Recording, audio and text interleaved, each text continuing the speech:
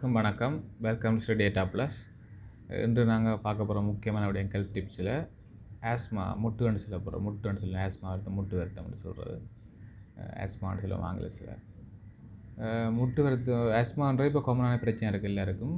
இது முக்கியமான காரணம் வந்து என்னென்னா பரம்பரை ரீதியாக தான் கூட வருகிறது பரம்பரையில் அப்பா அம்மா இருந்தால் வரக்கூடிய சாத்தியக்கூறு இருக்குது மற்றது வந்து உணவு பழக்க வழக்க இப்போ மாற்றம் உங்கள் வாழ்க்கை முறையில் ஏற்படுற மாற்றம் ஆஸ்மாவுக்கு முக்கிய பங்கு வகிக்குது.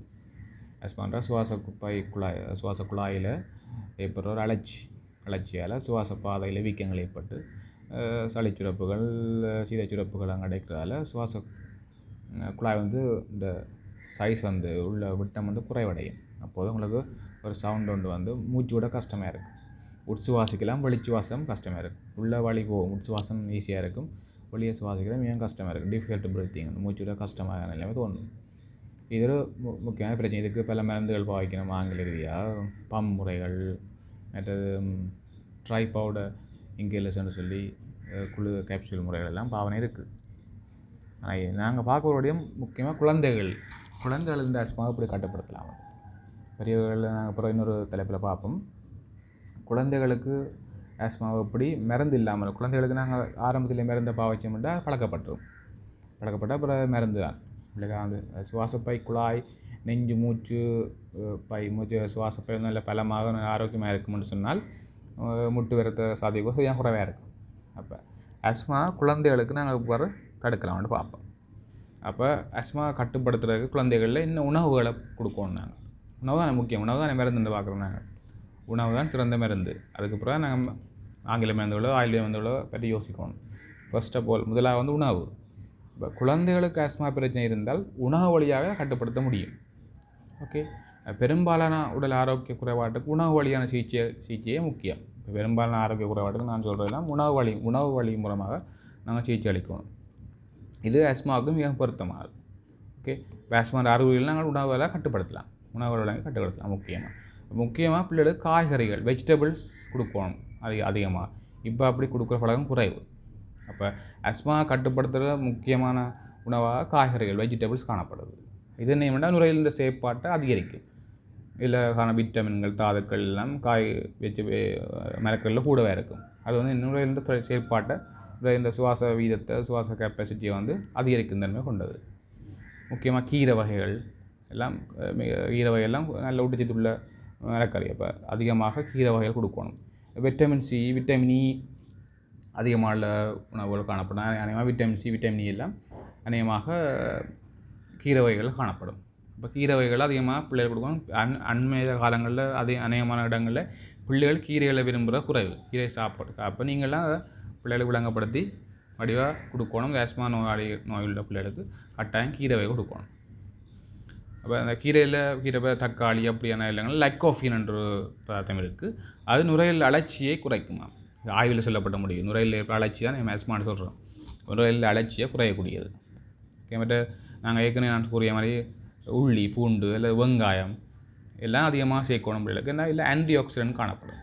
ஆன்டி ஆக்சிடென்ட் இருக்கிற வந்து நுரையீரலில் வந்து free radicals free anti accident ஃப்ரீயாக இலத்திரங்களோ அப்புறம் இலத்திரங்கள் ஃப்ரீயாக கலங்களுக்கு மேலே தோன்றது ஃப்ரீ ரெடிக்கல் சொல்கிறது அந்த ஃப்ரீ ரெடிக்கல்ஸை வந்து அழிக்கிற தன்மை அந்த ஆன்டி ஆக்சிடென்ட் இருக்குது அப்போ ஆன்டி ஆக்சிடென்ட் உணவுல நாங்கள் வெங்காயம் பூண்டு இஞ்சி அப்படியான உணவில் சேர்க்குறால வந்து நுரையில் ஏற்படுற தொற்றுகளை குறைத்து அந்த தொழிற்பாடு தொழிற்படுற வீதத்தை அதிகரிக்கும்.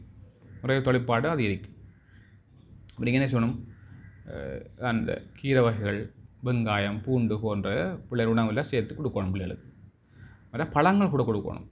பழங்களில் வந்து அதிகமாக விட்டமின் சி காணப்படும். விட்டமின் சி உள்ள உணவு வந்து எப்பயும் சுவாச பாதைக்கு மிகவும் அவசியம். அதான் விட்டமின் சி இப்போ நான் கூட பாவிக்கிறேன் இப்போ கொரோனா கொரோனா ஒரு சுவாச பாதை ஏற்படுற தொற்று தானே. ஆகவே சுவாச பாதையில் உள்ள தொற்றுக்கள் அனைத்துக்கும் விட்டமின் சி மிகவும் அவசியமானது. விட்டமின் சி உள்ள உணவுகளை நாங்கள் அதிகமாக கொடுத்தோமே இல்லை சுவாச பயிற்சி ஏற்படுறது குறையும் சின்ன பிள்ளைகளுக்கு. ஓகே விட்டமின் சி உள்ள உணவுகளை நீங்கள் அதிகமாக கொடுக்கணும். பழங்கள் மற்ற ஆரஞ்சு ஆரஞ்சு விட்டமின் சி அதிகமாக இருக்கும். கொய்யா கொய்யாப்பில் தான் விட்டமின் சி அதிகமாக காணப்படும். இப்படியான உணவுகளை பிள்ளைகளுக்கு விளங்கப்படுத்தி இதில் கொடுத்தீங்களா இருந்தால் ஆஸ்மா நோயிலேருந்து பிள்ளையை பாதுகாத்து கொள்ளலாம். சிறுவர்களை பாதுகாக்கிற முக்கியம். இந்த அவர்களும் அடுத்த சந்தேகங்களில் அடுத்த சந்தையை உருவாக்க போகிறார்கள் சிறுவர்கள். சிறுவர்களின் ஆரோக்கியம் மிகவும் அவசியமானது. அந்த பால் கொடுக்குற பிள்ளைகளுக்கு பால் கொடுக்குற அவசியம் இருக்குது பாலில் வந்து நம்ம பாலில் கொழுப்பு கொழுப்பு குறைந்த அளவில் அதிகமாக கொடுக்காமல் ஒரு நாளும் கொஞ்சம் கொஞ்சம் பால் கொடுக்கலாம். நார்மலாக ஒரு பிள்ளைக்கு அஞ்சூறு அடக்கம் ஆயிரத்தி நூறு மில்லிகிராம் வரை கால்சியம் தேவைப்படுது. வயதை பொறுத்து. எண்பது மில்லிகிராம் அடுத்த வயதை வயதுக்கேற்ற அதே போல் வயதை பொறுத்து எண்பது தொடக்கம் நாற்பது மில்லிகிராம் வந்து மெக்னீஷியம் தேவைப்படுது ஒரு சின்ன சின்ன பிள்ளைக்கு. அப்போ நாங்கள் இதை வந்து குறைந்த கொழுப்புள்ள பால் இப்போ இனிக்காத குறைந்த கொழுப்புள்ள தயிர் தலைப்பெல்லாம் இனி தயிர்லாம் இனிக்காது. இனிப்பில் கொடுத்து கொடுத்து பழகக்கூடாது பிள்ளைகளுக்கு. இனிப்பு சாப்பாடு வந்து சளி வைக்கிறதுக்கு முக்கிய ஒரு முக்கிய ஒரு காரணம். இப்போ இனிப்பு சாப்பாடை குறைத்து இனி தயிரில் வந்து இனிப்பை குறைத்து அதில் கொழுப்பும் குறைவாக தான் காணப்படும். சீஸ் எல்லாம் கொஞ்சம் கொடுக்கலாம் சேர்க்கலாம். எல்லாம் என்ன கால்சியம் மெக்னீசியம் எல்லாம் இதில் அதிகமாக காணப்படும். இப்போ இது வந்து பிள்ளைகிற சுவாசத்தை சுவாச பயின்ற தொழிற்பாட்டை அதிகரிக்க உதவும்.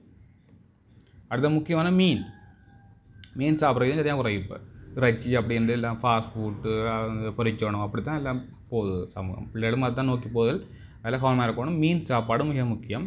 மீனில் வந்து என்னென்னா ஒமேகா த்ரீ இந்த கொழுப்பு அமிலம் காணப்படுது.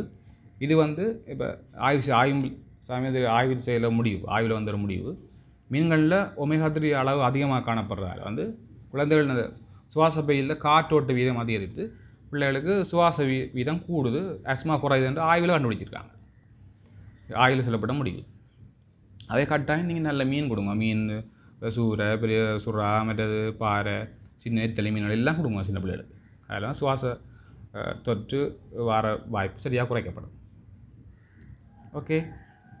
அப்போ நீங்கள் வாரத்துக்கு ரெண்டு நாள் கணம் கட்டாயம் மீன் மீன் கட்டாயம் பிள்ளைகளுக்கு கொடுக்கணும் ஓகே அப்போ முக்கியமாக நாங்கள் இதில் பார்த்த விஷயம் உணவு இப்போ உணவை பயன்படுத்தி இப்போ நிறைய உணவுகள் இருக்குது ஆனால் இப்போ தானியங்கள் தானியங்கள்லாம் கூட சேர்க்கணும் தானியங்கள்லாம் மிக முக்கியம் தானியங்கள்லாம் நல்ல சத்து ஊட்டச்சத்துகள் இருக்குது பிள்ளைகளுக்கு தானியங்களில் உள்ள கோதுமை இந்த ஓட் மீல் அன்று பல தானியங்களை பற்றியெல்லாம் ஆய்வு செய்கிறாங்க ஆய்வு செய்து இப்போ அண்மையில் நியூசிலாந்து ஆய்வு நடந்தது அந்த ஆய்வில் இல்லாமல் கோதுமை ஒட்மீல் அதில் வந்து மூச்சு அஸ்மா ஏற்படுத்துகிற தன்மையை குறையக்கூடிய அஸ்மாக்கு எதிரான புரதங்கள் காணப்படும். அந்த ஆய்வு சொல்லப்பட்டிருக்கு. அப்போ நீங்கள் குறைந்த சின்ன பிள்ளைகளுக்கு ஒரு மூன்று வகை தானியங்களாக சேர்த்து கொடுக்கணும். மூன்று வகை தானியங்களாக சேர்த்து பிள்ளைகளுக்கு கொடுத்து பழக்கணும். இனிப்பு சாப்பாடை கொடுக்கக்கூடாது.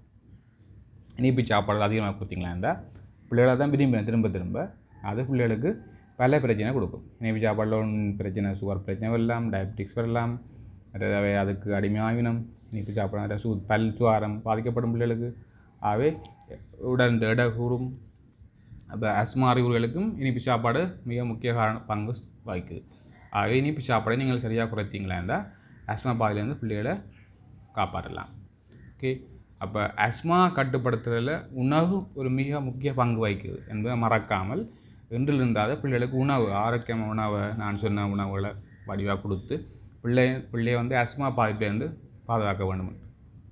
ஒரு இந்த வீடியோ முடிக்கிறேன். இன்னும் ஒரு அடுத்த சுவார பதிவில் சந்திப்போம் நாங்கள். எதுவும் கருத்துகள் இருந்தால் கமெண்ட்ஸில் தெரிவிங்க. மறக்காமல் ஷேர் பண்ணுங்க. உங்களோட ஃப்ரெண்ட்ஸ் எல்லாருக்கும் ஷேர் பண்ணுங்க. இது முக்கியமான பதிவு.